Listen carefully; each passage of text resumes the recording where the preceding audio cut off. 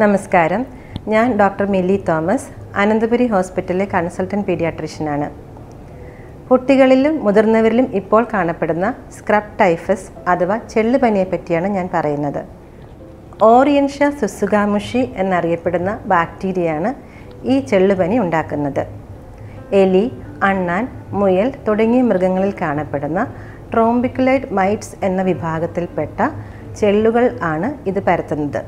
ഈ ചെള്ളുകളുടെ മുട്ട വിരിഞ്ഞുണ്ടാകുന്ന ലാർവ കടിക്കുന്നത് വഴിയാണ് ഈ ബാക്ടീരിയ മനുഷ്യരിലേക്ക് എത്തുന്നത്.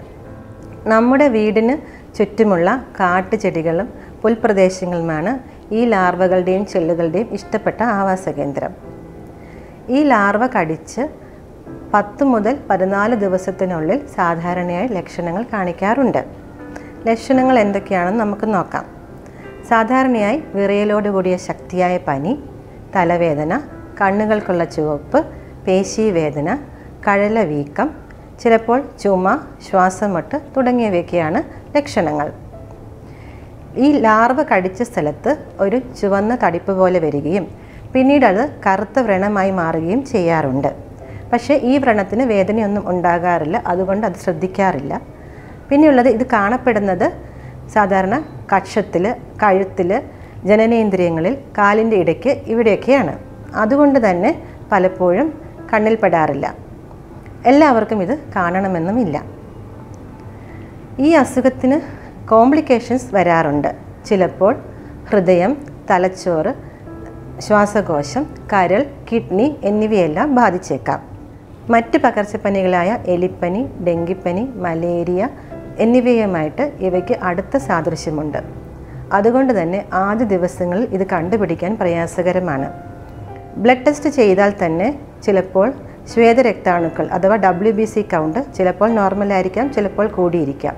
പ്ലേറ്റിൽ കൗണ്ട് കുറയാൻ ചാൻസ് ഉണ്ട്. കരളിന്റെ ടെസ്റ്റുകളിലും വ്യതിയാനങ്ങൾ കാണാറുണ്ട്. ചെള്ളുപനിക്കുള്ള ആന്റിബോഡി ടെസ്റ്റ് ഇപ്പോൾ ലഭ്യമാണ്. പക്ഷേ ആദ്യത്തെ ഒരാഴ്ച ഇത് പോസിറ്റീവ് ആകാറില്ല. ഒരാഴ്ചയ്ക്ക് ശേഷം മാത്രമേ അതിനൊരു പോസിറ്റീവ് ആകാറുള്ളൂ.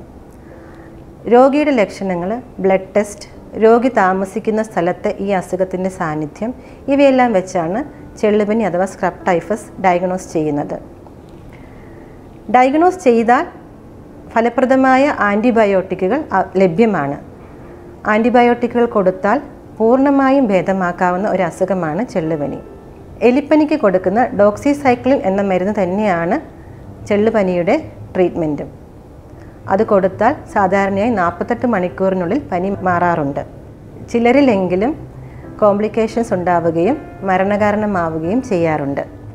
ഇത് എങ്ങനെ തടയാമെന്ന് നോക്കാം. ഈ ലാർവകളും ചെള്ളുകളും പുൽപ്രദേശങ്ങളിലും കുറ്റിച്ചെടികൾക്കും ഇടയിലാണ് കാണപ്പെടുന്നത്. നമ്മുടെ കുട്ടികൾ പുറത്ത് കളിക്കാൻ പോകുമ്പോൾ കൈകളും കാലുകളും മൂടുന്ന വിധത്തിലുള്ള ഡ്രസ്സുകൾ ധരിപ്പിക്കുക. കളിച്ചു വന്ന് തിരിച്ചു വന്നു കഴിഞ്ഞാൽ നന്നായി കുളിച്ച് ശുചിയായി എന്ന് ഉറപ്പുവരുത്തുക. ചെള്ളുപനി ഉള്ള സ്ഥലത്ത് കുറ്റിച്ചെടികളിലും കാട്ടുപ്രദേശങ്ങളിലുമൊക്കെ നമുക്ക് ചെള്ളുകളെ നശിപ്പിക്കാനുള്ള കീടനാശിനികൾ അടിക്കേണ്ടതാണ്. കുട്ടികളുടെ തുണികളും മറ്റും അലക്കി പുൽപ്രദേശങ്ങളിൽ വിരിച്ച് ഉണക്കുന്നത് പരമാവധി ഒഴിവാക്കുക. ഇതൊക്കെയാണ് ചെള്ളുപനിയെ പ്രതിരോധിക്കാനുള്ള മാർഗങ്ങൾ. നേരത്തെ കണ്ടുപിടിച്ച് യഥാസമയം ആന്റിബയോട്ടിക്കുകൾ സ്റ്റാർട്ട് ചെയ്താൽ പൂർണമായും സുഖപ്പെടുത്താവുന്ന ഒരു അസുഖമാണ് ചെള്ളുപനി. അതുകൊണ്ട് തന്നെ ഒരാഴ്ചയ്ക്ക് കൂടുതൽ പനിയുണ്ടെങ്കിൽ എത്രയും പെട്ടെന്ന് ഡോക്ടറെ കാണിക്കേണ്ടതാണ്. താങ്ക്